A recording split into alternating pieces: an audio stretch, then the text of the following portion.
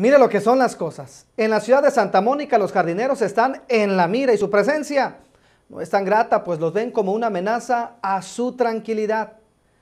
Resulta que las sopladoras de hojas han sido prohibidas en Santa Mónica durante una década, pero después de recibir miles y miles de quejas de los residentes, quienes afirman que la prohibición no es lo suficientemente estricta para evitar que las máquinas se utilicen, la ciudad de Santa Mónica está tomando medidas drásticas, enérgicas, sobre estos aparatos motorizados.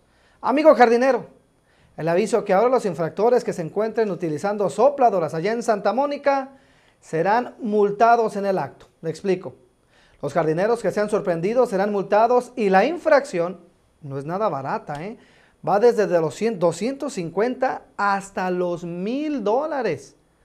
Unos 12 jardineros ya fueron multados en los últimos dos años por el uso de estas sopladoras de hojas, pero las autoridades de la ciudad han recibido, escuche esto, más de 2.500 denuncias.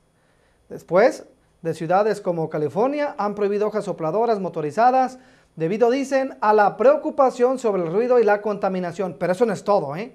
Imagínense nomás, los mismos vecinos están agarrando sus celulares y tomándole video a los jardineros y después los reportan. Eso sí, cuando necesitan que alguien les corte el pasto, le hablan a nuestra gente. Qué cosas, ¿verdad?